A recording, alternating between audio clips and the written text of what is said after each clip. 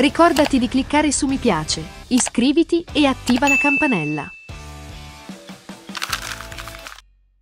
L'emergenza maltempo in Campania ha causato notevoli problemi nella regione durante la giornata di sabato 23 settembre, il primo giorno d'autunno. Forti temporali hanno portato allagamenti, caduta di alberi e danni alle coltivazioni.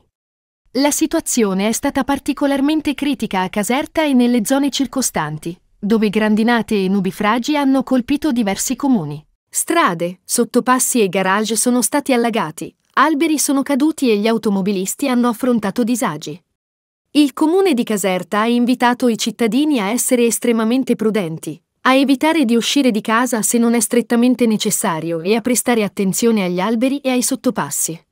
Oltre ai temporali, in diverse aree della regione si sono verificate copiose grandinate che hanno causato ingenti danni alle coltivazioni, distruggendo in alcuni casi raccolti interi e danneggiato le auto parcheggiate.